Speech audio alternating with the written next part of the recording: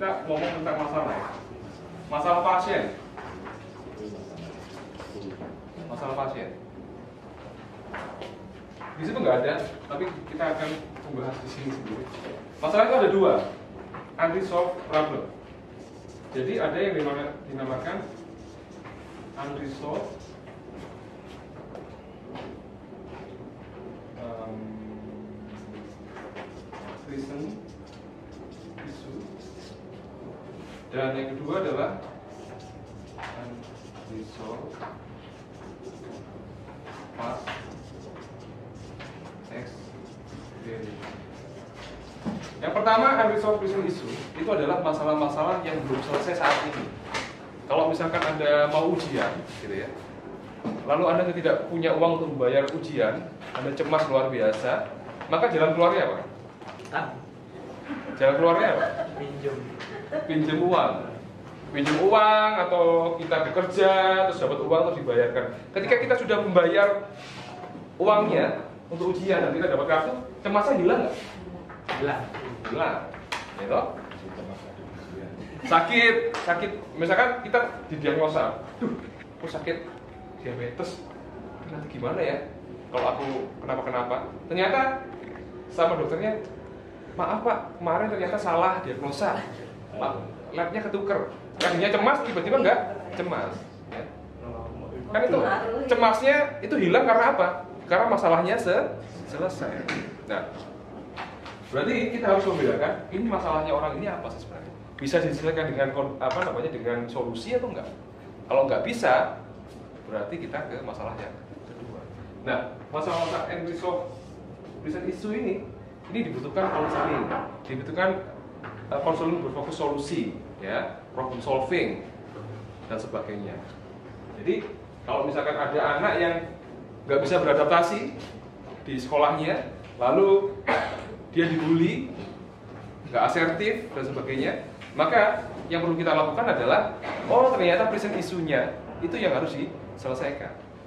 Dia nggak bisa ngomong asertif kok, dia nggak bisa bergaul dan menyapa teman-temannya sehingga nggak nggak asik. Kalau misalkan dibully dia diem saja dan sebagainya. Jadi itu yang harus dibantu, ya. Oke, itu yang pertama. Yang kedua adalah unresolved past experience. Ini apa?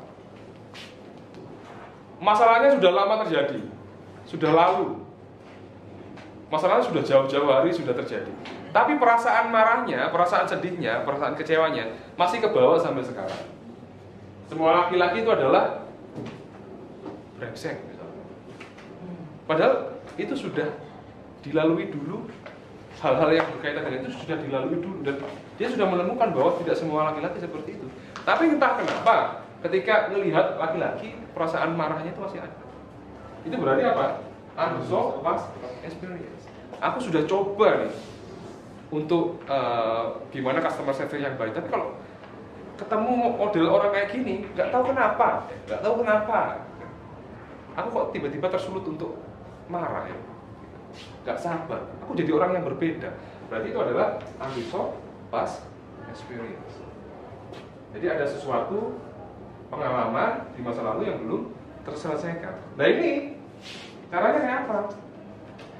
Caranya adalah diselesaikan sesuai dengan timeline dari orang itu. Kapan kejadiannya? Waktu dulu ternyata usia 10 tahun mendapat pengalaman ditertawakan di depan kelas oleh teman-temannya sehingga dia gagal. Ya waktu itu kembalikan di waktu itu. Oh ternyata enggak sudah selesai. Tapi kok masih gagap ya? Ternyata ada pengalaman yang la- lain lagi. Ketika dia pulang mau ke, ru- ke rumah sama bapaknya ditampar karena pulang jam 6 disuruh ngomong dari mana karena dia sudah ditampar takut. Akhirnya tewegang sekali disuruh ngomong cepet-cepet ayo ngomong ayo ngomong. Tetap nggak bisa ngomong terwampar lagi. Akhirnya nggak bisa ngomong dan di waktu itu dia mengalami gagal. Karena ada emosi yang nggak bisa diproses waktu dia SD ternyata diketahui karena dia gagal dan gagal ini semakin kuat karena ada pemicunya. Apa kejadian penambahannya itu karena masalahnya bukan ini bukan. Kadang-kadang kita salah sebagai hipnoterapis melakukan regresi ternyata bukan ini masalahnya. Masalahnya ternyata di sini. Oke. Kita berfokus pada eh, apa namanya past experience ya. Oke, ini adalah unresolved patient issue, ini adalah unresolved class experience. Terus terapi sendiri itu juga ada dua ternyata. Yang pertama adalah simptomatik terapi. Yang kedua, causal terapi. Kalau simptomatik, simptomnya apa nih? Pusing. Simptomnya apa nih? Cemas, rasanya di dada nggak enak, sesek. Simptomnya apa nih? Uh, gagal. Berarti simptomnya apa nih? Takut ketika melihat kucing. Berarti kita fokus sama simptomnya. Pakai submodality uh, intervention, misalkan diubah gambarnya dan sebagainya itu, lalu diredakan uh, kecemasannya sampai angka nol, misalkan, udah selesai. Itu simptomatik terapi. EFT, ya, itu adalah simptomatik terapi. Nggak usah uh, terlalu banyak untuk membahas tentang penyebabnya apa. Nah, kadang-kadang begini, simptom yang nggak terlalu parah, penyebabnya nggak terlalu parah gitu ya, bisa hilang. Tapi ada juga yang bisa hilang, mereda, cuman dia underlying. Underlying itu ternyata di dalamnya masih ada. Dan itu akan muncul lagi simptomnya, bahkan bisa lebih parah. Syukur-syukur kalau nggak lebih parah atau tetap ya. Tapi kalau dia lebih parah, nah itu yang menjadi masalah. Karena jalur penyelesaiannya uh, tidak tidak ketemu. Nah yang perlu kita lakukan adalah melakukan causal terapi. Anda mungkin juga pernah melihat orang-orang yang hebat ya, psikolog hebat, motivator hebat, eh, fokus sama kekuatan dia, fokus sama uh, apa namanya, excellentnya dia. Tapi di lain sisi dia berhasil. Tapi di lain sisi dia suka marah, dia gampang tercetus dan sebagainya. Oke, kita fokus sama solusi, oke. Kita fokus sama kekuatan, oke. Tapi kalau ada sesuatu yang belum selesai di sini, ini tetap akan merongrong. Sehingga di situ terapi kausal itu perlu dilakukan. Dia perlu memahami pikiran bawah sadarnya apa sih yang menggerakkan. Tapi di sini ada yang ditanyakan? Ini masih konsepnya? Yang depan tadi. Kalau permasalahannya pertama, itu kalau permasalahannya kayak tadi saya ceritakan, uh, saya berbayar, saya nggak punya apa. Iya. Kemudian dia merasa tidak dijamin kuat. Utang misalnya yang bergairah mungkin segera dapat seperti itu. Itu masih memungkinkan dilakukan sesuatu. Secara hipnoterapi? Secara Oke. jadi kita fokusnya sama solusi pak. Solusi bagaimana dia bertindak untuk mendapatkan uang itu sudah jelas toh. Sudah jelas. Tapi saya ini nggak bisa pak. Kalau kerja masa nggak bisa kerja. Kan banyak pekerjaan. Iya. Nggak nggak saya nggak dapat. Misalkan hal hal-hal yang bisa kamu lakukan apa sih yang bisa menghasilkan uang nggak ada masa? Kamu tahu orang bisa uh, gunain sepeda motornya untuk cari uang? Contohnya kayak apa? Gojek. Oh saya nggak bisa kayak gitu pak. Nggak mau saya. Berarti ada belief-belief yang salah di situ. Apa yang anda pikirkan?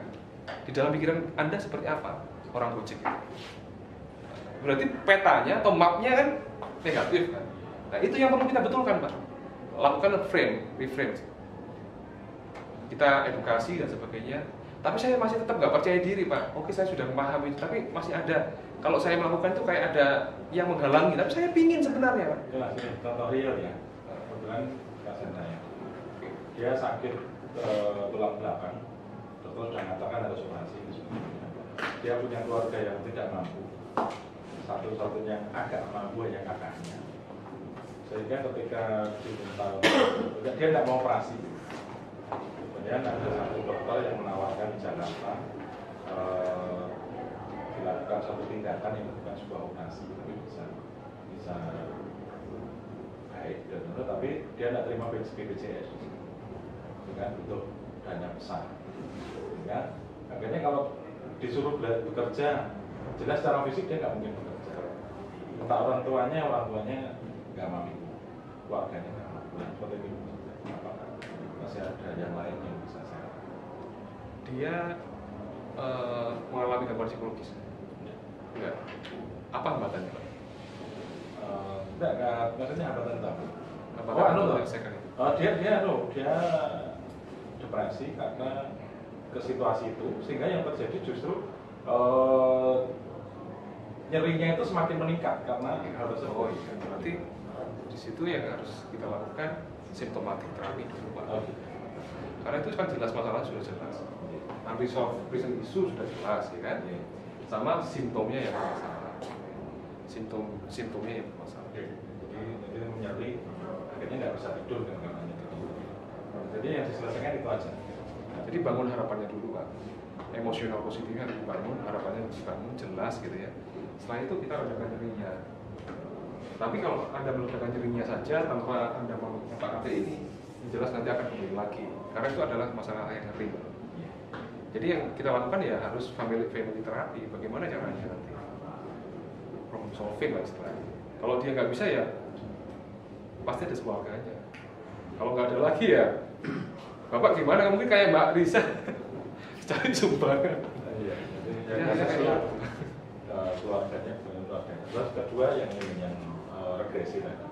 Eh, cara kita meregresikan ini apakah sudah kita temukan di awal? Ya? Jadi gini Pak, ini penting sekali bagi kita. Kita tunggu Pak Risa. Ini penting bagi kita bagaimana sih mengetahui eh, suatu simptom itu. Karena kita terjebak Pak. Kita terjebak pada yang kita tangani adalah antisopas experience. Tapi kita melihatnya itu antisopas issue. Misalnya ada pasien saya, em, dia itu kalau kuliah belakangan ini takut, ketakutan. Dan apa namanya? Dan kalau di kosan dia histeris gitu, misalkan. Kalau kita berfokus pada antisocial issue, mungkin oh mungkin anak ini takut kalau kosannya sepi. Terus kita pindahkan kosannya, solusinya gitu. Nggak selesai kan? Ada juga anak yang pindah-pindah terus. Katanya dibully temennya, kan gitu. Gurunya nggak bisa ngerti, dipindah lagi. Ternyata dibully lagi, gurunya nggak bisa ngerti lagi. Terus itu muter. Nah kita ada solusinya seperti itu, tapi ternyata bukan di situ masalahnya.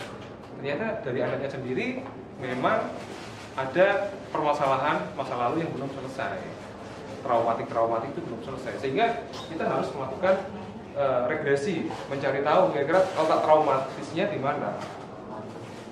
Oke. Ada yang dinamakan ISE Initial Sensitizing Event. Ini adalah kejadian aslinya. Ya. Jadi misalkan eh, tadi seperti anak yang nggak mau sekolah itu tadi anak nggak mau sekolah kita kan mengiranya oh dia dibully makanya dia trauma kan gitu kan. Ternyata bukan itu masalahnya. Tapi orang tuanya dulu yang membuat dia trauma. Nah kalau kita berfokus pada oh temennya itu oh kamu harus bisa ini sama temenmu dan sebagainya nggak selesai. Jadi harus kita temukan namanya ISE nah ISE ini ternyata gini. Dulu waktu kecil dia itu mau main sama temennya karena orang tuanya takut dia itu nanti hilang diculik orang gitu ya jatuh dan sebagainya maka dia dibawa apa nggak boleh keluar. Tapi suatu ketika dia mencoba untuk keluar tanpa izin pulang-pulang ditampar sama mama sama papanya dan itu terjadi berulang kali dan akhirnya dia trauma ya. Ini ISE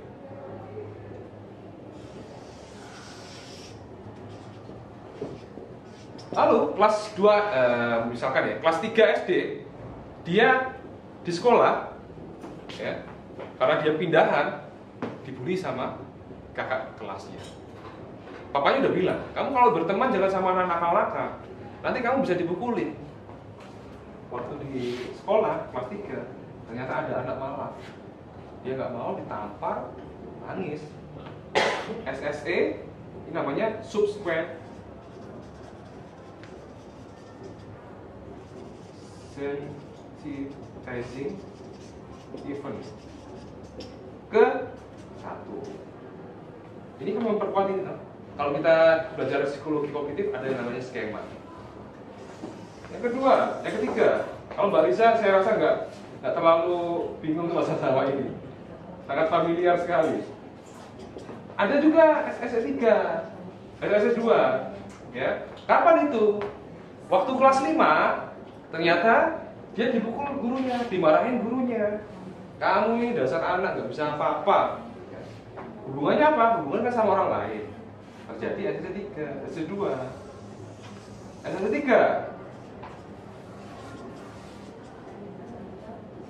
karena dia sudah nggak percaya diri.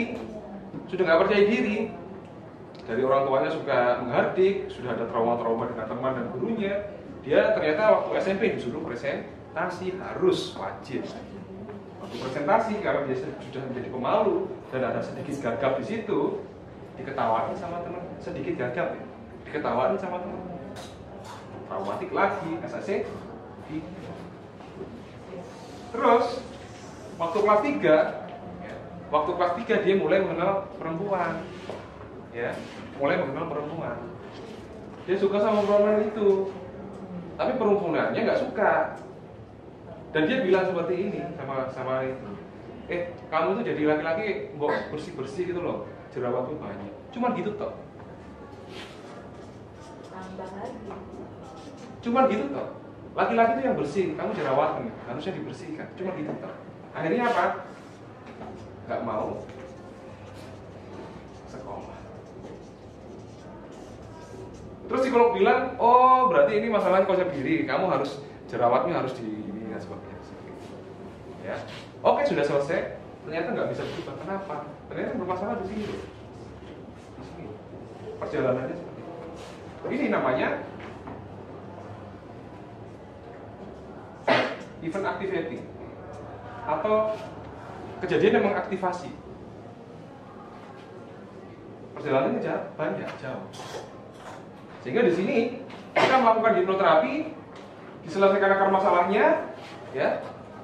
Diselesaikan akar masalahnya di sini otomatis di sini nanti akan berubah. Apakah cuma seperti itu toh? enggak. Ada yang namanya verbalisasi. Setelah ini diselesaikan dengan cara forgiveness memaafkan orang tuanya mengajak bicara bagian dari dirinya atau apa pun itu selesai atau mengubah ceritanya ya setelah semua selesai dibawa ke tempat kedamaian disuruh verbalisasi. Verbalisasi itu apa? Maknanya dari semua ini apa? Apa sih yang terjadi selama ini? Akhirnya dia ngomong ternyata saya memiliki pengalaman-pengalaman yang traumatik sehingga itu membentuk kepribadian saya sampai sekarang. Dan sekarang sudah saya lepas semuanya maka dari mulai dari sekarang saya menjadi pribadi yang baru. Sebenarnya yang lebih penting di sini loh pemaknaannya. Nah masalah ma- pengalaman di sini ini kan kadang bisa dari kejadian asli nyata ataupun hanya interpretasi dia sehingga menjadi trauma. Bisa juga seperti itu. Jadi stimulusnya hanya mungkin nggak terlalu parah tapi ketika dia menginterpretasinya lebih lebih eh, besar maka ini jadi masalah. Konsepnya seperti itu. Kaitannya kan di sini. Inisiasi maksud saya untuk regresinya itu ke, tahun berapa ke tahun berapa itu apakah kita minta dia pada saat itu oke. eh, kamu kapan kamu mulai melakukan atau sebelumnya. Oke. Sampai sini ada yang ditanyakan? Kita akan lanjut nanti ke tekniknya. Ini konsepnya.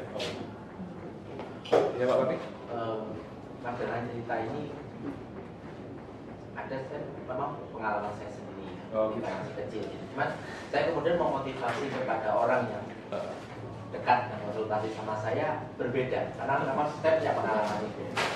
Yang pertama, memang saya dari kecil SD itu itu kan diambil estimate oleh keluarga besar ya karena memang ya memang secara secara namelik nilai saya itu tidak pernah baik nilai paling tinggi itu 5, 4 SD. Jadi selalu ada tipek-tipekannya. Jadi bapak dan ibu itu selalu eh bapak terutama kalau ibu tidak ya bapak wah tolele jadi itu setiap lihat absen lihat apa Nilai. eh, rapor gitu ya itu pasti ada tipekan. Karena kebetulan bapak bapak saya waktu itu jadi pengurus sekolahan jadi kepala sekolahnya agak berani ngasih nilai. Nilai tiga empat lima begitu ya Wah, dan setiap belajar gitu, setiap belajar itu selalu berkelahi dengan kakak saya. PR kalau nggak mau dikerjain kakak saya, itu saya nggak mau marah-marah. Sampai hari itu nggak hafal saya. Baju seragam apa nggak hafal. Jadi memang pada saat itu saya sadar memang ya ya segitulah gitu ya. Hari aja nggak tahu, seragam aja nggak tahu, PR kalau nggak belum dikerjain saya nggak berangkat. Dan kemudian yang terekam dalam otak saya itu memang ya Allah anak laki-laki satu-satunya kok apa yang bisa diandalkan? Itu bodoh banget gitu ya. Pada saat itu mungkin orang tua saya nggak pernah kuliah psikologi itu masalahnya. Jadi ngomong seperti itu saya sudah maafkan lah. Terus habis SD itu saya keluar di pesantren. Terus SD tapi itu masih terekam betul dalam benak saya itu ya. Bodoh lah ini nggak bisa diandalkan lah. Tapi saya kemudian begini dan itu yang sama yang saya sampaikan pada orang-orang yang mengalami masalah sama sama dengan saya. Saya merasa dendam gitu ya. Dendam bukan kepada orang-orang yang mengatakan saya bodoh. Saya saya dendam pada diri saya sendiri. Entena sesuk saya katakan. Tunggu besok. Saya akan menjadi apa yang tidak pernah kamu bayangkan. Jadi betul di kemudian saya saya memang karena dendam pada diri saya saya tidak dendam pada orang-orang itu gitu ya Akhirnya apa? Kemudian saya e, di pesantren itu lulusan terbaik, S1 lulusan terbaik satu, S2 lulusan terbaik juga. Dan orang tua tetap tidak percaya. Orang tua tidak percaya. Sampai kemudian S2 itu baru percaya. Jadi saya kuliah di Jogja itu selama 2002, S1 sampai S2 2008 itu orang tua yang mengunjungi saya itu dua kali. Ketika wisuda terbaik saya S1, dan sudah terbaik saya S2 itu karena diundang harus hadir karena kan kebetulan dapat beasiswa dan nanti ada ada briefing dengan pimpinan. Itu hadir. Jadi begitu kemudian orang tua itu baru menyadari loh kok iso ya ada ini? Nah baru saya merasakan ketika S2 itu orang tua itu begitu bangga terhadap saya. Nah jadi apakah saya kemudian salah? Menyalahkan maksud saya saya dendam. Dalam bahasa saya ya saya juga saya akan tunjukkan pada orang lain bahwa saya tidak sebagaimana apa yang kamu lakukan. Dan itu rupanya terekam sampai sekarang. Jadi ketika saya bekerja juga begitu diremehkan. Karena HI itu kan rata-rata hampir semuanya jebolannya luar negeri. Bukan internasional itu rata saya satu-satunya dosen yang lulusan dalam negeri. Dan itu disepelekan sekali. Kemudian saya tenano saya begitu. Tenano Bahkan kemudian itu menjadi pemicu saya, alhamdulillah saya satu-satunya pertama kali dosen yang punya rumah sendiri. Iya, karena masih baru kan, 2007 harinya itu. Saya satu-satunya dosen yang bisa buat rumah sendiri tanpa bantuan siapa. Akhirnya saya bawa mobil, mengantar bisa beli mobil, baru mereka terbuka.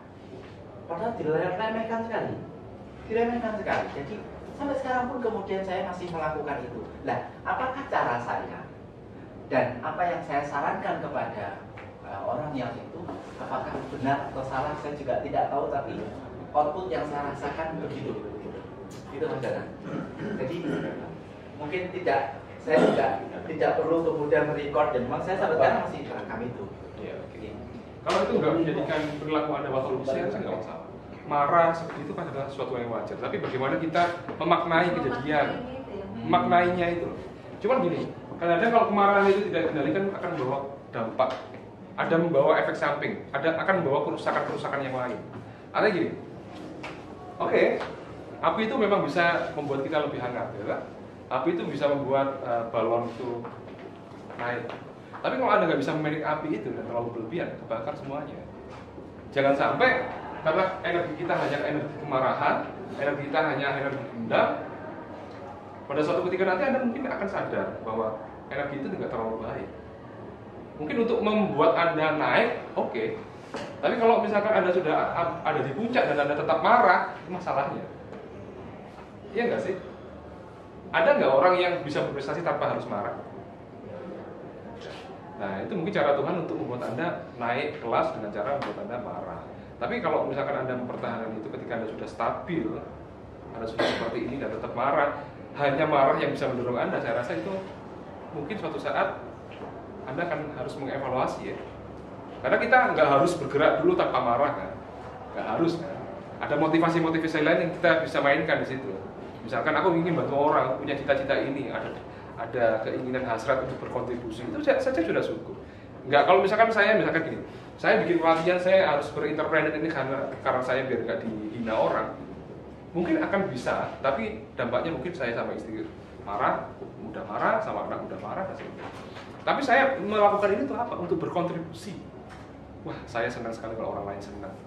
Saya senang sekali kalau misalkan ilmu saya bisa dipakai orang banyak terus menerapi itu kan ladang amal juga ya. Itu kan buat kita termotivasi, gak harus marah. Nanti kalau biasanya gini, Anda pasti pernah melihat profesor, doktor yang prestasinya tinggi, bagus, tapi membuang kau mau geli, pernah ya? Ya seperti itu. Dia sukses tapi kebakar marahnya sendiri. Dia memang bisa membakar uh, dirinya untuk naik. Tapi kalau dia nggak waspada, dirinya sendiri kebakar. Ya pilihan kita. Sampai kapan kita akan membuat motivasi kita uh, hanya marah saja? Bagus sih marah. Tapi kalau terlaluan mungkin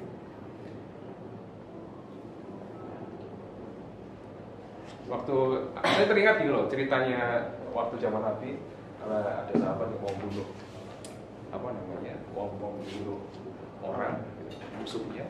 Waktu itu diludahin marah mau dibunuh istighfar akhirnya. Kenapa? Karena kalau dia bunuh dengan marahnya dia sudah hilang niatnya untuk berjalan di jalan Allah. Maksudnya gitu. Karena ada emosinya di situ. Berarti dia ada egoisnya. Nah tapi selama itu menjadi positif saya rasa nggak ada masalah sampai kita bisa memakai itu. Nah yang saya maksud dengan ISE ini dan ini menjadi kemarahan ini kalau ini merusak pak. Kalau anda kan nggak merusak. Maksudnya meskipun ada marah anda nggak nggak membuat nggak merusak hubungan orang nggak merusak apa namanya sistem dan sebagainya.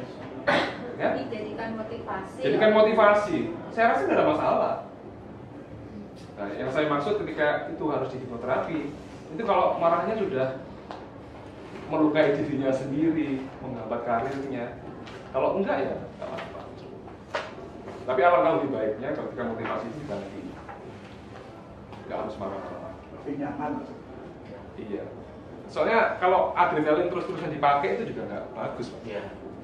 Memang ketika sudah apa yang kemudian saya tujukan itu tercapai saya sudah merasakan kenyamanan itu jadi maksud saya ya memang itu saya pahami pola hidup saya dari kecil sampai itu kayaknya begitu.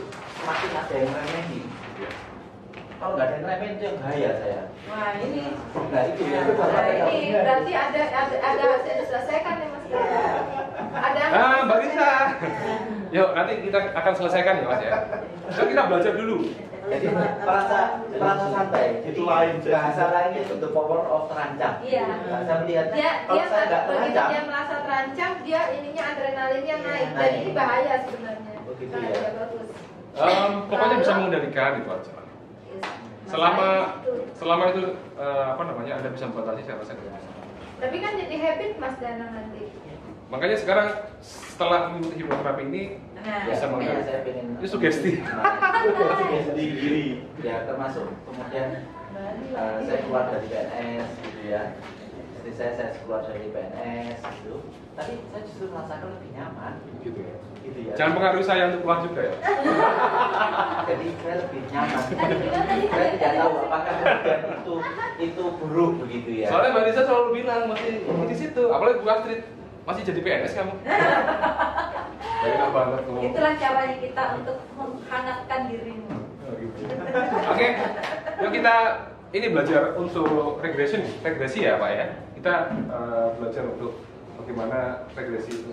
Jadi Anda buka halaman 14, itu tool interaksi teknik. Jadi Anda bisa menggunakan dua teknik, eh, menggunakan dua tools. Tools itu adalah alat. Yang pertama adalah idiomotor respon. Idiomotor respon seperti yang Anda ketahui tadi menggunakan motor untuk menjawab pertanyaan yang dijawab pikiran bawah 14 sadar. yang mana? Yang advance. Advance. ya. Nah, yang kedua adalah egg regression atau regresi usia. Jadi regresi usia ini adalah tool, Pak. alat. Ya. Penyembuhannya bukan di egg regression itu sebenarnya. Itu hanyalah alat. Kemarin kita belajar hanyalah alat saja. Penyembuhannya di mana? Penyembuhannya di nanti akan kita bahas. Nah, yuk kita belajar bagaimana teknik untuk melakukan egg regression. Kalau idiomotor response sudah tahu ya kesepakatannya seperti apa. Anda bisa perhatikan di sini, egg regression itu berarti gini. Sebelum sekarang, sebelum sekarang itu berapa? Bisa semenit yang lalu, bisa sejam yang lalu, bisa dua tahun yang lalu, bisa lima tahun, 10 tahun, 15 tahun yang lalu. Itu namanya eh regression, regresi kembali. Kalau progresi ke masa